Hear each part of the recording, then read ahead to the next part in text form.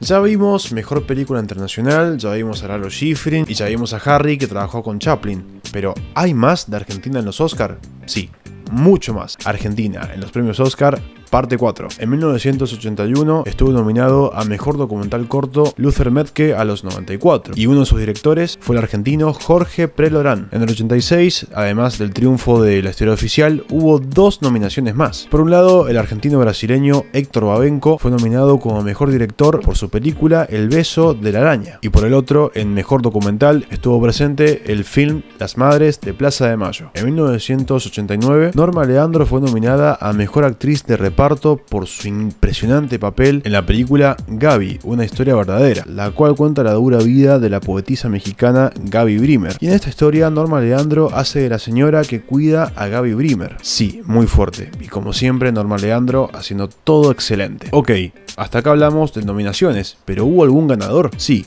hubo dos. En el 96, Luis Bacalop ganó el Oscar a Mejor Banda Sonora que compuso para la película italiana Il Postino y como una curiosidad, Luis Bacalop ya había sido nominado en 1967, así que casi 30 años después tuvo su revancha. Y también ese año, en el 96, Eugenio Zanetti ganó a Mejor Diseño de Producción por lo que hizo en la película Restauración. En el 99 fue nominado otra vez en esta misma categoría, pero por lo que hizo en la película Más allá de los sueños. Y como hay más argentinos nominados, te invito a dejar tu me gusta y suscribirte para la quinta parte.